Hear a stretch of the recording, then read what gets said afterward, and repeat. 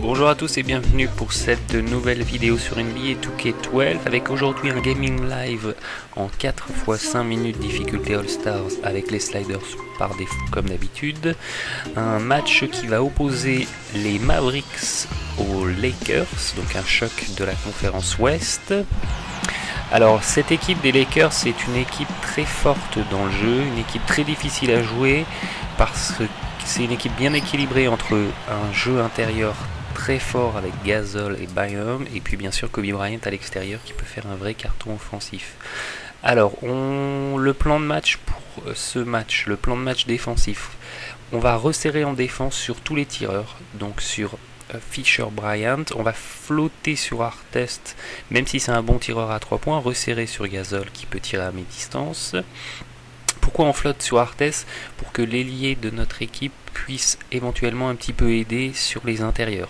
C'est un choix un peu risqué, Artest peut euh, vraiment allumer à 3 points, mais on va prendre le risque pour vraiment bloquer les intérieurs. On va essayer par contre d'empêcher les passes de retour sur euh, quasiment tous les joueurs de l'effectif, euh, sauf Artest, toujours avec cet objectif de l'ailier de pouvoir venir flotter sur les intérieurs et aider. On va commencer le match en défense individuelle, hein, comme d'habitude, défense quart de terrain, en étant vraiment vigilant sur les intérieurs et puis sur Kobe Bryant, essayer de le priver de ballon. Alors en attaque, le premier système qu'on va dérouler, c'est pour Dirk Nowitzki, qui est une isolation au poste haut, qui est vraiment un des fondements de l'attaque des Mavericks, ce poste haut. Euh, il y a pas mal de séquences de jeux placés qui euh, sont déclenchées par le poste haut et par Dirk. Donc si vous voulez jouer vraiment dans l'esprit des Mavs, euh, utilisez ce système qui est en plus relativement efficace.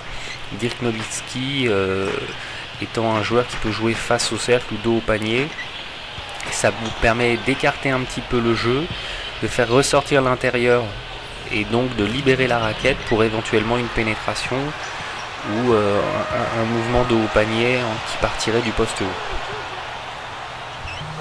Alors la difficulté avec les Mavs cette année, c'est qu'avec le départ de Chandler, euh, ils n'ont euh, plus la présence qu'ils avaient pu avoir l'année dernière à l'intérieur. Donc c'est une équipe qui va être un petit peu plus faible au rebond.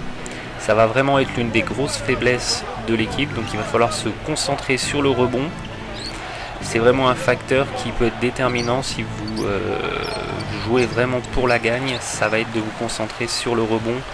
Vous laissez trop de rebond, que ce soit offensif ou défensif à l'adversaire, euh, ça va être mission quasi impossible de vous imposer.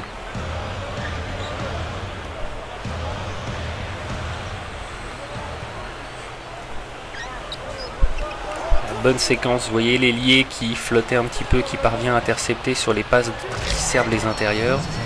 C'est exactement ce qu'on voulait dans le plan défensif du match. Donc le match se déroule à Los Angeles, donc difficulté supplémentaire, c'est toujours euh, un petit peu plus difficile de s'imposer à l'extérieur.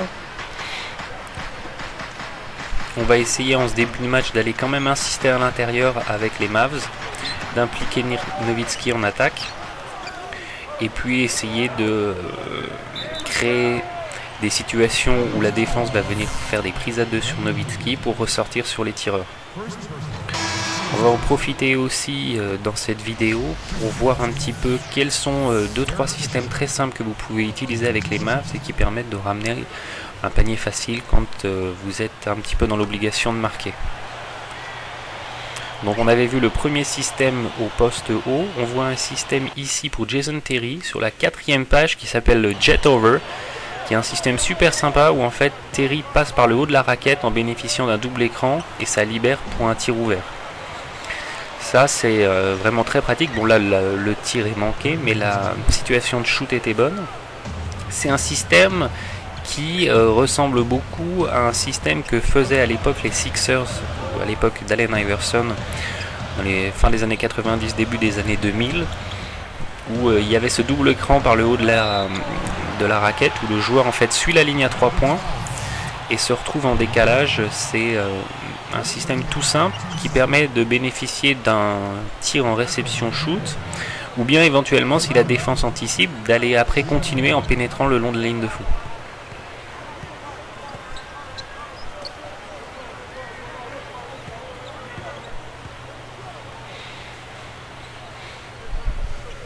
Qui parvient à bien enchaîner. Alors je ne vous le répéterai jamais assez, mais euh, n'hésitez pas à multiplier les feintes. Si vous jouez euh, systématiquement en première intention, vous allez vraiment buter contre la défense. Alors qu'en multipliant les feintes, surtout dans le jeu de haut panier, que ce soit euh, en difficulté pro ou en Hall of Fame, généralement les défenseurs sautent dans les feintes et sont donc faciles à effacer pour aller marquer un deux points près du cercle. Ici, bonne séquence défensive, mais euh, tir miraculeux de Mac Roberts, qui y était pratiquement à 3 points. On revient sur Novitsky avec cette fois-ci le système qui se valide avec le bouton B, qui est euh, Dallas qui est en fait un croisement par la ligne de fond sur une prise d'écran qui libère Novitsky pour un tir à mi-distance. Alors, une fois de plus, malheureusement, la réussite n'est pas au rendez-vous, mais ça permet de libérer sur une euh, situation à mi-distance dans une zone où Novitsky est très à l'aise.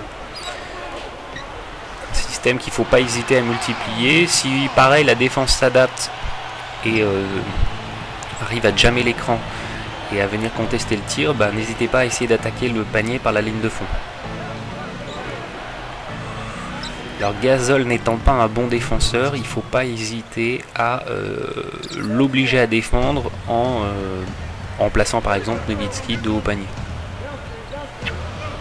N'hésitez pas aussi euh, à multiplier les tirs en fadeaway, les tirs en retournement, qui sont généralement euh, une source d'une belle adresse et d'une belle réussite dans le jeu. Pour peu que vous ayez un joueur un minimum bon de haut panier, vous allez pouvoir enchaîner des fadeaway et euh, des paniers faciles, des shoots qui sont très durs à contrer. On refait le jet avec Jason Terry sur cette dernière possession du premier carton ça permet de libérer un 3 points qui nous permet de recoller au score 13 partout face aux Lakers. Alors, euh, très important dans NBA 2K et dans le basket en général, si vous voulez vous imposer, c'est la défense. Vous pouvez vous servir un petit peu de, de référence en vous disant qu'il ne faut pas que vous encaissiez plus de 10 points par carton si vous jouez en 5 minutes. 10 euh, points par carton en 5 minutes, grosso modo, ça fait une base de 100 points sur un match en 48 minutes. Donc l'objectif qu'il faut que vous, fixiez, c'est euh, de prendre donc moins de 100 points en 48 minutes, donc moins de 10 points par carton si vous jouez en 5 minutes. Si vous arrivez à maintenir l'adversaire à moins de 10 points par carton, c'est que vous avez une bonne défense. Généralement, si vous y parvenez, vous allez avoir une victoire à la clé. Donc c'est vraiment l'objectif tout simple qu'il faut se fixer pour chaque carton. Et c'est comme ça que euh, vous allez trouver les chemins de la victoire. Sur la séquence défensive précédente, on a tenté de faire une zone 1-3-1, toujours pour varier un petit peu la défense, brouiller un petit peu les cartes, euh, complexifier un petit peu la tâche de l'attaque. On va continuer en zone. Dallas qui est une équipe qui l'année dernière a beaucoup défendu en zone, notamment en finale face au 8, et ça a bien perturbé l'attaque du 8. Ici, les Lakers qui trouvent Artes sur la ligne de fond. Belle lecture, alors c'est toujours la faiblesse de la zone, c'est euh, la ligne de fond. C'est pas grave. Alors, cette fois-ci, système pour Odom qui se valide avec le bouton LT, c'est le cross-post qui est en fait un croisement sur la ligne de fond qui va euh, libérer une situation pour Odom dos au panier. Donc ça c'est toujours pas mal, ça permet d'avoir un ancrage dos au panier. Ici la défense a doublé, on ressort. La réussite n'est toujours pas en rendez-vous, mais ça vous permet de créer une situation avec un bon tir. Ce qu'il faut se dire, c'est que euh, ce qui compte, c'est de vous créer des situations où vous avez des tirs ouverts, des tirs faciles. Si la réussite n'est pas au rendez-vous, c'est pas grave. Du moment que vous avez réussi à vous créer un bon tir, c'est une séquence que vous allez pouvoir reproduire et euh, vous allez de toute façon, quoi qu'il arrive, après mettre des paniers. surtout si vous allez arriver à créer des tirs comme ça complètement ouverts.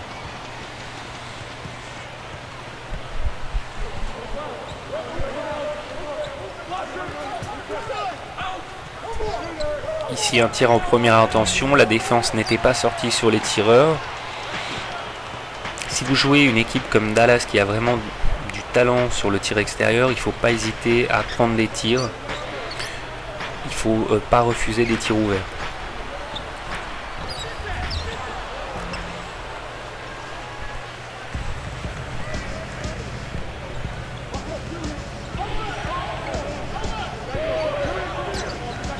On va essayer ici de servir l'intérieur. Heywood a un petit avantage Cafouillage. Finalement, le ballon qui arrive dans les mains de Carter en fait. Oui, il n'a pas d'autre possibilité. Heureusement, beau rebond offensif. Bien vu, c'est toujours bon d'avoir un panier en deuxième intention, surtout contre une équipe comme les Lakers qui est vraiment euh, douée au rebond. Ça, c'est vraiment un bonus intéressant. Et derrière, bonne défense sur Bryant. Mais les Lakers arrivent à enchaîner. Et toujours ces problèmes de rebond. Ça, malheureusement, j'allais dire que c'est presque mécanique. Les Lakers dominant vraiment Dallas à ce niveau. On va prendre un temps mort, euh, booster justement un petit peu le rebond. Diminuer un petit peu la contre-attaque pour éviter que tout le monde euh, n'anticipe sur un tir en allant vers le panier. Essayer de se remobiliser sur le rebond, c'est vraiment important.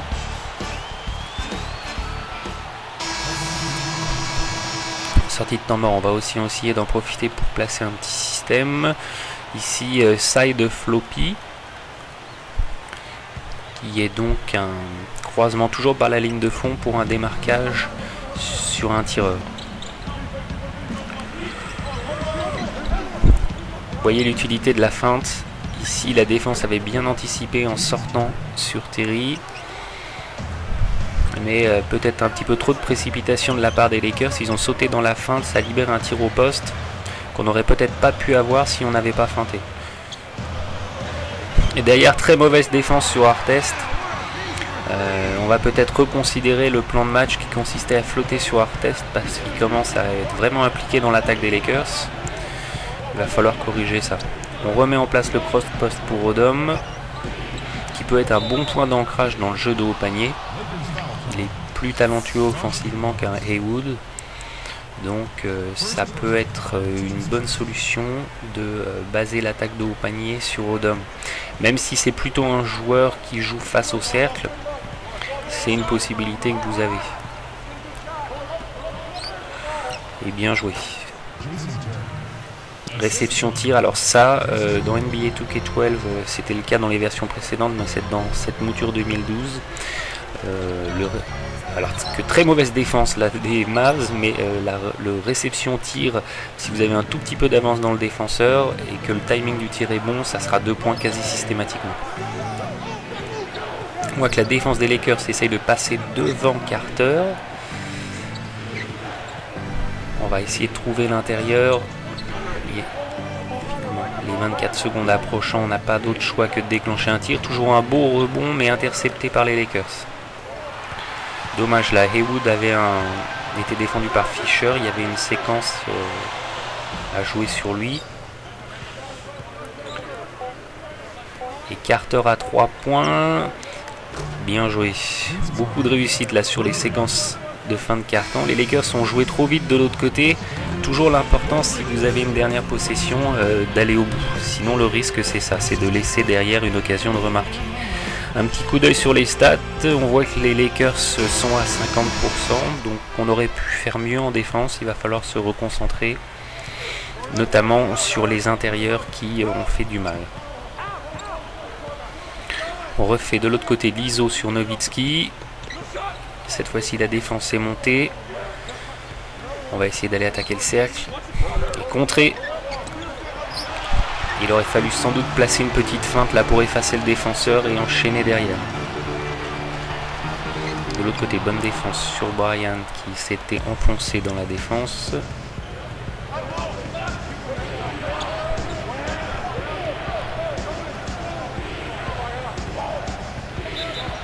Provoquer des fautes, alors c'est toujours une bonne opération. N'hésitez pas à aller attaquer le cercle, à essayer d'aller provoquer ça vous permet d'avoir des points avec un pourcentage de réussite très élevé.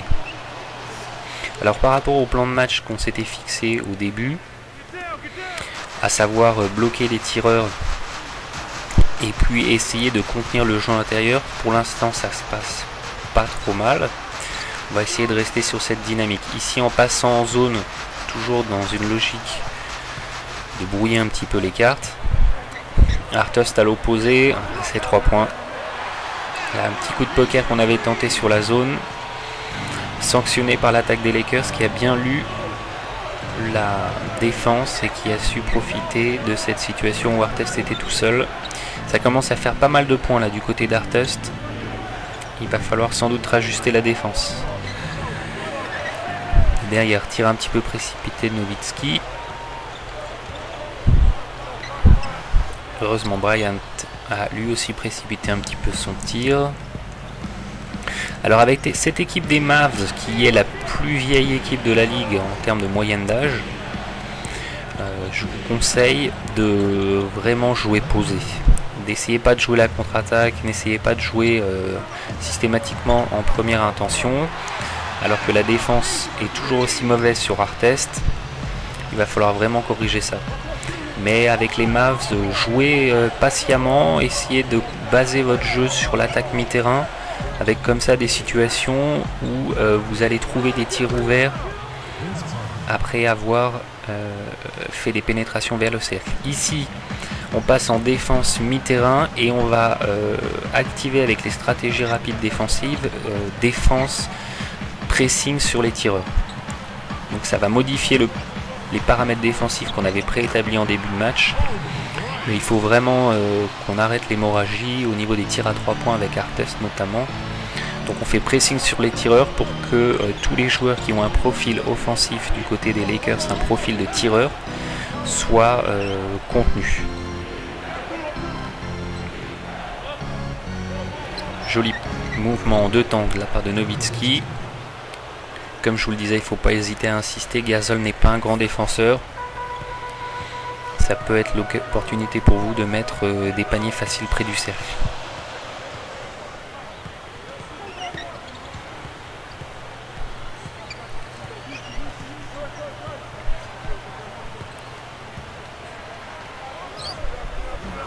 Bonne défense là, c'est ce qu'on voulait bloquer un petit peu le jeu d'attaque des Lakers, pas laisser de possibilités euh, de tir après une passe de décalage.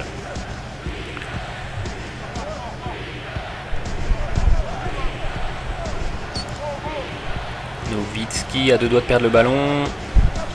On arrive au bout de l'horloge des 24. On n'a pas d'autre choix que de tenter un tir un peu désespéré entre guillemets. Bonne défense des Lakers. On n'a pas su exploiter euh, cette possession. C'est pas grave, on a toujours 5 points d'avance. On va se reconcentrer sur la défense, essayer d'obtenir un stop défensif, récupérer le ballon. Fischer contré, mais toujours ses rebonds offensifs. Et qui arrive à décrocher la faute. Les Lakers sont d'autant plus difficiles à jouer que leurs intérieurs, que ce soit Gazol ou euh, Bynum, ne sont pas mauvais au lancer franc. Donc euh, même avec une défense relativement agressive et en faisant des fautes, euh, bah, vous risquez quand même d'être sanctionné par la réussite au lancer de Gazol ou Bynum. Toujours le jet pour Terry, qui une fois de plus se retrouve tout seul à 3 points. Un match euh, sur un rythme vraiment offensif avec de l'adresse à 3 points. On est toujours devant de 6 points. Donc on va dire on se contentera de cette défense médiocre pour l'instant. Super tir de Bryant au-dessus de 3 Mavs. Il n'y avait plus personne au rebond là de toute façon, même si le tir était manqué, on n'avait pas d'alternative.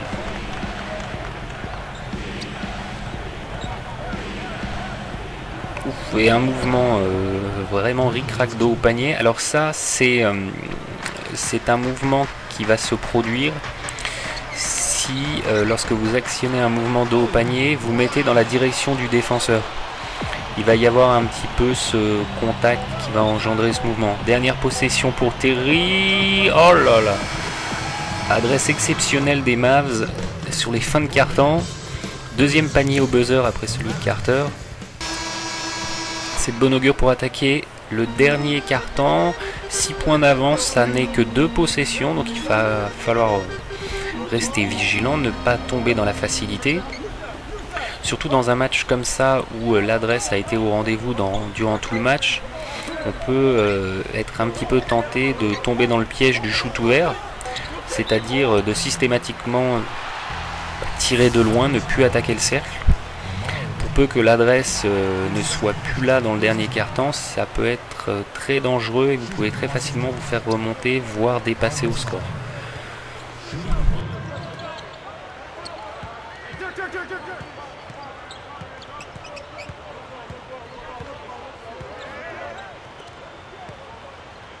Petit trop long. Le momentum qui passe dans le camp des Lakers. Falloir euh, essayer d'obtenir un stop défensif ici. Barnes à 3 points. Ah, bien joué. Bien, su trouver Barnes. Les Lakers qui reviennent à 1 point. On va prendre un temps mort tout de suite. Booster un petit peu le pressing défensif essayer de limiter ses tirs ouverts de loin. Après ça, de toute façon, c'est un petit peu le casse-tête stratégique, mais euh, il faut faire un choix. Hein. C'est soit vous vous concentrez plutôt sur la défense intérieure, soit vous concentrez plutôt sur la défense extérieure, soit vous faites un mix euh, des deux en étant moyen sur les extérieurs, moyen sur les intérieurs mais euh, c'est à vous d'établir vos priorités défensives en fonction de vos forces et de vos faiblesses. Toujours les rebonds pour les Lakers. Deuxième chance pour Artes, toujours maladroit.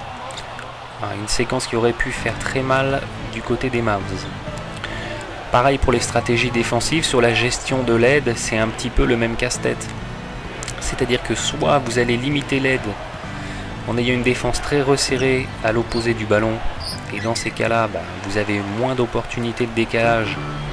Mais inversement, vous allez avoir peut-être plus de risques d'être dépassé en dribble et de, laisser la voie ouverte vers le panier. Soit vous mettez une aide très forte qui va limiter les pénétrations mais laisser des joueurs démarqués pour des tirs après des passes de décalage. Ça, c'est les choix stratégiques qui sont euh, malheureusement insoluble, il n'y a pas de recette miracle, c'est à vous de faire le choix le plus pertinent en fonction de ce que vous voulez faire en défense. Grâce à un 3 points de Odom, les Mavs sont toujours 2 points devant les Lakers, mais euh, Los Angeles a réussi à bien revenir dans le match. Attention, ils sont à domicile, il faut pas qu'ils repassent devant dans le quatrième quart-temps ça pourrait sinon être très préjudiciable pour une fin de match serrée à l'extérieur. C'est toujours plus délicat à négocier. Alors que Fischer est allé euh, buter un petit peu dans la raquette.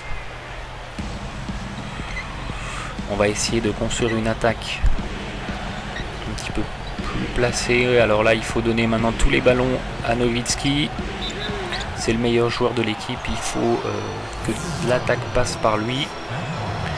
Donc il faut le mettre en situation dos au panier ou sur le poste haut qui puisse euh, créer quelque chose en attaque.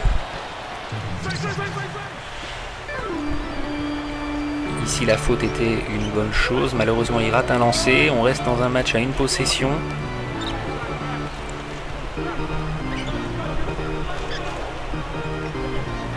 Faire attention à Murphy hein, du côté des Lakers qui peut euh, allumé à 3 points. Et derrière Fischer bien défendu qui parvient à marquer un tir extraordinaire. Il en a mis des dizaines hein, dans sa carrière, des 3 points euh, dans les moments clés du match.